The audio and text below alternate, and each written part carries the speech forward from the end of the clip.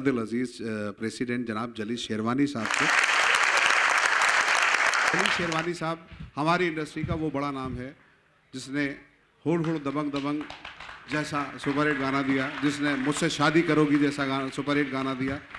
सलमान भाई के साथ 21 से ज़्यादा फ़िल्में, साजिद वाजिद भाई हमारे बैठे हुए हैं, वाजिद भाई उनके साथ बहुत सारी फ़िल्में की, सत्तर से ज़्यादा फ़िल्में, और शायरी के आसमान पर तो उनकी चमक आप खुद देख रहे हैं। जनाब जली शेरवानी साहब, मैं दरमियान से हट जाता हूँ। अच्छा हुआ कि दानिश जावेद ने मेरा कोई तारुफ बहुत ज़्यादा तवील नहीं दिया, क्योंकि मेरे पास अपनी तालीम तरबियत के हिसाब से उसके वसीले से मेरा एक तारुफ है। एक शेर की शक्ल में गही साहब पेश करता हूँ।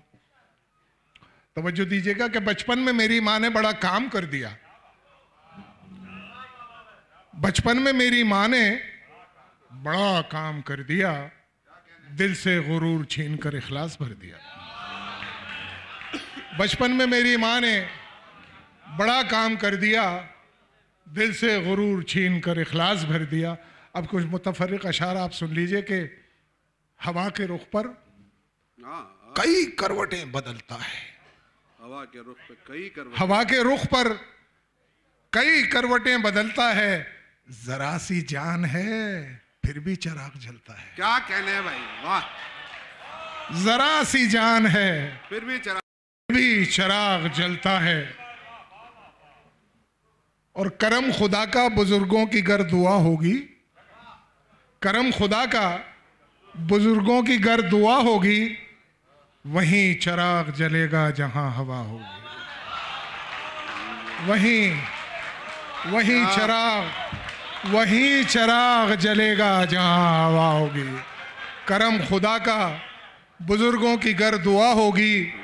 वहीं चराग जलेगा जहाँ हवा होगी। भाई अब मेरी उम्र के जितने नौजवान कलेजा थाम लें। क्योंकि कुछ रोमांस आने वाला है। के रुख से नकाब सर की थी जिस दिन जरा जरा। रुख से नकाब सर की थी जिस दिन जरा जरा हमने भी देखा चाँद को लेकिन जरा जरा। आपके रुख से- खान निकले। रुख से नकाब सर की थी जिस दिन जरा जरा। हमने भी देखा चाँद को। लेकिन जरा जरा और इटला के उनकी जुल्फ जो शानों पे जा पड़ी। इटला के उनकी जुल्फ जो शानों पे जा पड़ी लहरा गई थी जुल्फ में नागिन। लहरा गई थी जुल्फ में। पीछे वालों की समझ में नहीं आ रहा या सुनाई नहीं दे रहा है? कोई रिएक्शन ही नहीं दे रहे हैं आप लोग। मैं इतना चिल्ला रहा हूँ आपके लिए। घई साहब तो ऐसे ही सुन लेते हैं। एक मतला एक शेर और समाज फरमा लीजिए। हम लोग क्योंकि ज़्यादातर बाहर से आके महाराष्ट्र में बसे, मुंबई में बसे हैं, उन सब की नज़र ये शेर है। दौलत की भूख ऐसी कि घर से निकल गए, दौलत मिली तो हाथ से रिश्ते निकल गए।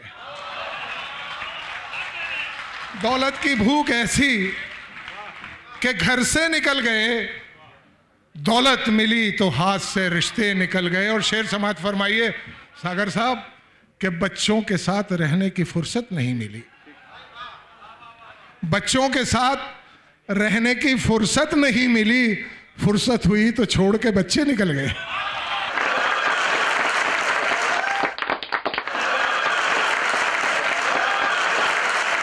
बच्चों के साथ रहने की फुर्सत नहीं मिली फुर्सत हुई तो छोड़ के बच्चे निकल गए।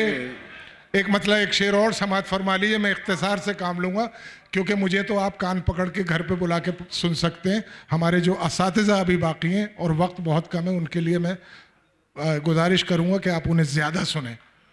समाज फरमाइए कि हमने जाना है मोहब्बत के असर में होना। हमने जाना है मोहब्बत के असर में होना, जैसे टूटे हुए किरचों की जिगर में होना। जैसे जैसे टूटी हुई किरचों का जिगर में होना।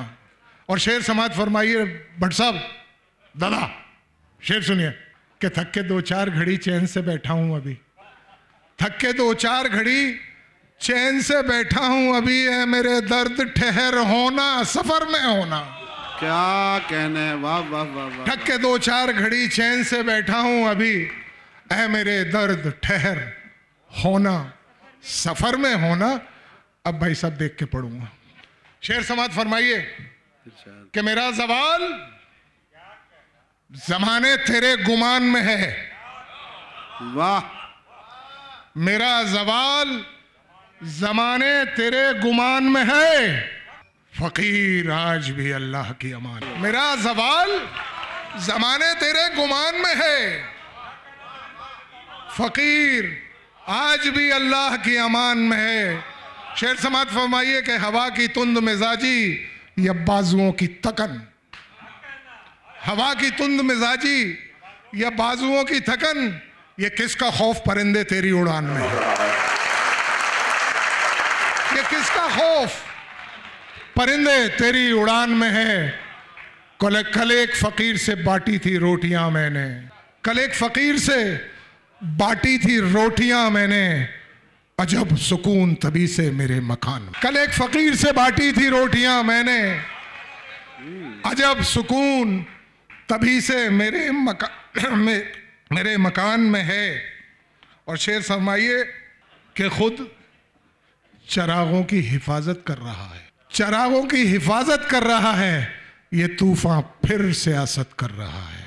क्या कहने वाह वाह वाह वाह खुद खुद चरागों की हिफाजत कर रहा है। ये तूफ़ान फिर सियासत कर रहा है। और शेर समाज फरमाइए कि हम फकीरों से शरारत कर रहा है। हाँ। हम फकीरों से शरारत कर रहा शरारत कर रहा है। ये जमाना फिर हिमाकत कर हम फकीरों से शरारत कर रहा है। ये जमाना- फिर हिमाकत कर रहा है और होश कहता है वफा उनमें नहीं। होश कहता है कि वफा उनमें नहीं दिल मगर उनकी हिमायत कर रहा है। दिल मगर उनकी हिमायत कर रहा है। तीन अशार सुना के आपसे इजाज़त लूँगा हजरात। ये कौम की ज़िद है जो मैंने नज्म की है ज़रा गौर फरमाइएगा अशार पे कि परिंदा वहीं बैठना चाहता था। परिंदा वही बैठना चाहता था, जहाँ ताक में एक शिकारी खड़ा था। थोड़ा सा आया। परिंदा वहीं बैठना चाहता था, जहाँ ताक में एक शिकारी खड़ा था। और शेर बतौर खास तवज्जो फरमाइएगा कि न थी उसकी फितरत में साहिल परस्ती, न थी उसकी फितरत में साहिल परस्ती। समंदर समंदर, वो क्या ढूंढता था? न थी उसकी फितरत में साहिल, परस्ती, समंदर समंदर, वो क्या ढूंढता था? और अजब था कलंदर, अजब उसकी मस्ती। अजब था कलंदर, अजब उसकी मस्ती के बरकड़ बलाओं को खुद छेड़ता था। बहुत बहुत शुक्रिया। जब इंतज़ार के लम्हे पिघलने लगते हैं, गली